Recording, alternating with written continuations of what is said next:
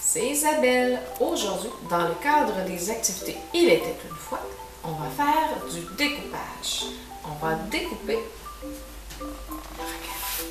une poule et ses trois petits poussins. Si tu te souviens, nous avons lu récemment la petite poule. La petite poule, dans l'histoire, elle veut planter des petits grains, mais elle ne se trouve pas d'amis. Hmm, le chat, il est beaucoup trop occupé pour l'aider. Ensuite, elle doit enlever les mauvaises herbes, mais pas d'amis, parce que le cochon, il est beaucoup trop occupé à jouer dans la boue.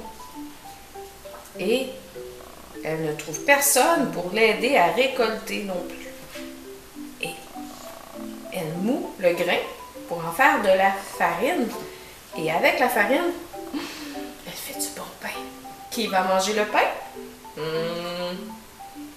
Le chat, le cochon et le canard aimeraient bien, mais si tu te souviens bien, la poule, c'est avec ses trois petits poussins qu'elle mange le bon pain. Alors là, aujourd'hui, nous allons faire une petite activité très facile de découpage.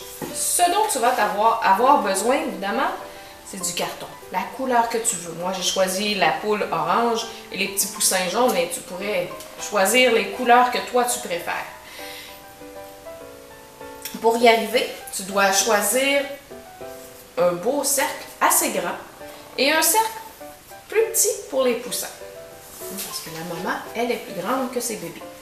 Moi, j'ai pris une petite assiette pour la nourriture des bébés. la maman, que j'ai tracée sur le carton, les petits poussins sur un, rond un peu plus petit. Et par la suite, tu vas devoir bien regarder pour essayer de trouver le centre. Tu peux mesurer hein, le milieu de chaque côté, la même distance, et avec ton ciseau, tu vas venir découper une... En ayant trouvé ton centre, on va venir découper un côté on va venir plier. Et on a notre petit poussin avec son aile repliée. Par la suite, c'est assez simple. On colle. Tu peux coller son aile ou tu peux la laisser plier, ça dépend de ton carton. C'est comme tu veux. Ici, je l'ai collé, mais ici, je l'ai laissée ouverte comme si le petit poussin voulait s'envoler.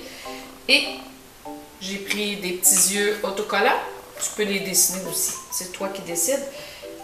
Faites une petite collerette avec un crayon feutre, des petites pattes, évidemment, et un beau grand triangle de la couleur que tu veux pour faire le bec de la maman, un plus petit pour faire les becs des bébés, et ça, est-ce que tu sais comment ça s'appelle? La crête.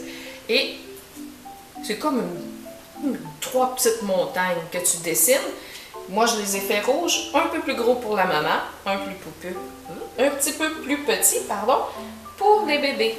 Et voilà, tu peux les coller de la façon que tu veux et tu as maman poule et ses trois poussins. Je te souhaite de bien t'amuser. Bonne journée!